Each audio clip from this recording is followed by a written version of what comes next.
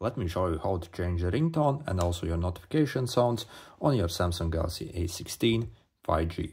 So all you have to do is go to the settings, click on the sounds and vibrations, and then click on the ringtone and simply select your ringtone over here to whatever you want to.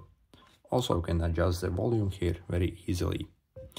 Also if we click this plus button over here we can actually select a custom track for a ringtone. So if you want to maybe set a custom song as your ringtone, you first have to actually upload it to this device storage. So if you want to learn how to do that, you can also check my other uh, videos. So I have a guide for that as well.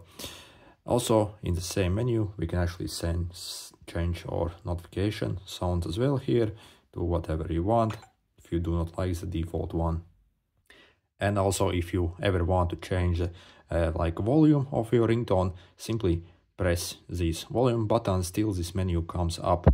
And then you simply have to press these three dots over here.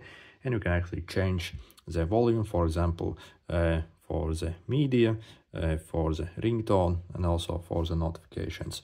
Or we can even completely disable it like this very easily as well. Anyway good luck